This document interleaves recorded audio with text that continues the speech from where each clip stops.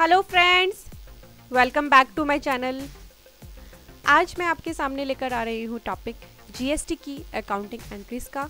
Accounting entries for intra state sale and purchase इससे हम start कर रहे हैं अपनी एंट्रीज का सीरीज़ मैं हूँ सी पूजा गुप्ता, मेरे चैनल का नाम है लर्न एंड स्टाइल। अगर आपने मेरे चैनल को अभी तक सब्सक्राइब नहीं किया है तो वीडियो के नीचे है रेड कलर का सब्सक्राइब बटन, उस पर क्लिक कर ले, मेरे चैनल को सब्सक्राइब करना मत भूलिए। सब्सक्राइब बटन के साइड में ही है बैल का आइकन। बेल आइकन पर क्लिक करने से क्या होगा? आप मेरी वीडियोस को देख पाएँगे सबसे पहले। इस सीरीज़ में मैं सबसे पहले एंट्री स्टार्ट कर रही हूँ बेसिक से। पहले आपको बेसिक समझाऊँगी और फिर चलेंगे एडवांस एंट्रीज की तरफ़। तो सबसे पहले परचेज की entry purchase goods from A B C limited rupees one lakh within state and G S T rate is eighteen percent G S T के रेट को रखा है मैंने कॉमन एटीन परसेंट जिसमें C G S T nine percent and S G S T nine percent रहेगा। तो purchase account हो जाएगा हमारा यहाँ पर डेबिट वन लैख से। G S T nine percent debit nine thousand to A B C limited one lakh eighteen thousand तो ये हो गई परचेज की एंट्री अब बात कर लेते हैं सेल के लिए। सेकेंड एंट्री है सेल की sale goods to X Y Z limited rupees one lakh fifty thousand and G S T rate is eighteen percent X Y Z limited account debit one lakh seventy seven thousand to sale account one lakh fifty thousand to output C G S T nine percent account तेरह पाँच सौ to input S G S T nine percent account तेरह पाँच सौ तो ये हो गई सेल परचेज की। अब एक आपको बता देते हैं एंट्री असेट से रिलेटेड अगर आपने कोई एसेट परचेज की है। थर्ड एंट्री है machinery purchase rupees ten thousand and GST rate is eighteen percent इस केस में हमारी एंट्री क्या रहेगी? हमारा मशीनरी अकाउंट हो जाएगा डेबिट टेन थाउज़ेंड से। Machinery account debit ten thousand input G C G S T nine percent nine hundred input S G S T at the rate nine percent debit nine hundred to B limited ग्यारह आठ सौ।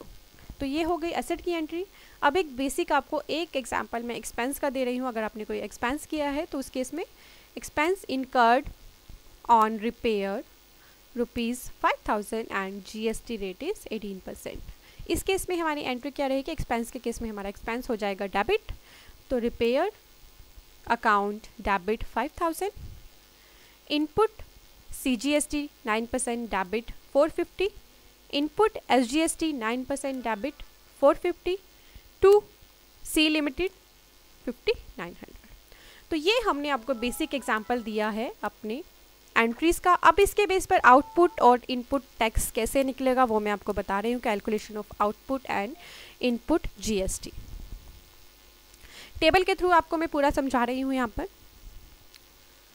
Particulars output and input रहेंगे।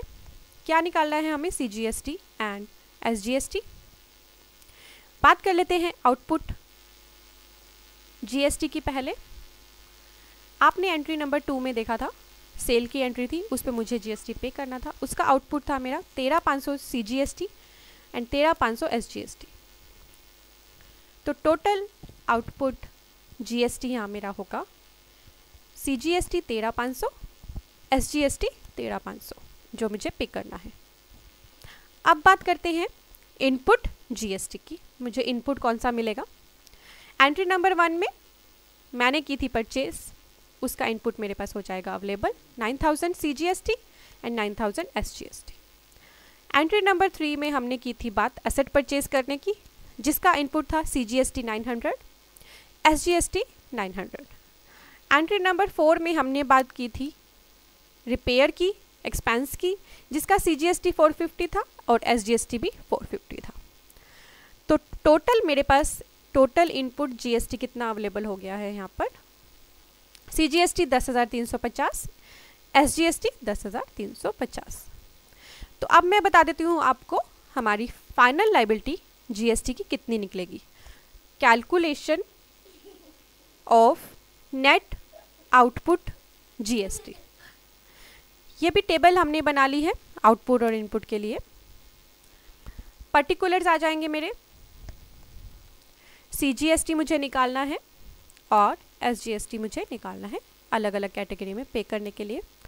Total output GST मेरा कितना आया था? अभी मैंने आपको समझाया। सी जी एस टी तेरह पाँच सौ एस जी एस टी तेरह पाँच सौ। आप देख लेते हैं टोटल मेरे पास इनपुट कितना अवेलेबल था? वो हो जाएगा लेस मेरी आउटपुट में से। जो था मेरे पास सी जी एस टी दस तीन सौ पचास एस जी एस टी दस तीन सौ पचास। तो फाइनली अब मुझे कितना नेट जी एस टी पे करना होगा? Total net output G S T मेरा रहेगा। सी जी एस टी मेरा आ जाएगा थ्री वन फाइव ज़ीरो और एस जी एस टी मेरा आ जाएगा थ्री वन फाइव ज़ीरो तो इस तरह से आपको अपना कैलकुलेट करना है फाइनल आउटपुट टैक्स लाइबिलिटी जो आपको गवर्नमेंट को पे करना है। अब मैं एंट्री आपको समझा देती हूँ, आपकी टैक्स लाइबिलिटी की फाइनल टैक्स एंट्री क्या रहेगी आपकी बुक्स में, उसकी बात कर लेते हैं आप।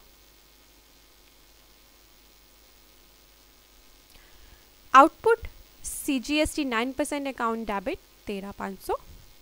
Output S G S T nine percent account debit तेरह पाँच सौ। To input C G S T nine percent account दस तीन सौ पचास। To input S G S T nine percent account दस तीन सौ पचास। बैलेंस जो होगा इलेक्ट्रॉनिक कैश लेजर के थ्रू पिक करना होगा तो इलेक्ट्रॉनिक कैश लेजर में थ्री वन फाइव ज़ीरो खड़ा हो जाएगा मेरा। अब क्या करेंगे, जब हम इलेक्ट्रॉनिक कैश लेजर से बैंक के थ्रू पेमेंट करेंगे तो एंट्री हो जाएगी electronic cash ledger account debit कितने अमाउंट से होगी?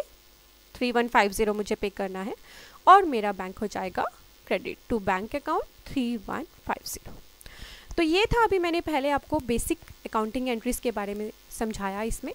यहाँ पर हमने की है स्टार्ट सीरीज़ अकाउंटिंग एंट्रीज़ की। तो अभी इसके बाद मेरी सीरीज़ में आने वाली हैं बहुत सारी वीडियोस एंट्रीज से रिलेटेड तो मेक श्योर sure आपने मेरे चैनल को सब्सक्राइब कर लिया हो सभी वीडियोस को देखने के लिए। कोई भी आपके माइंड में है एंट्री आपको पूछनी है किसी चीज़ की कमेंट करके बता दें, वो मेरी अगली वीडियो में आपके लिए ऐड हो जाएगा। एंड मेरे चैनल को सब्सक्राइब ज़रूर कर ले और मेरी वीडियोज़ को लाइक करना मत भूलेगा।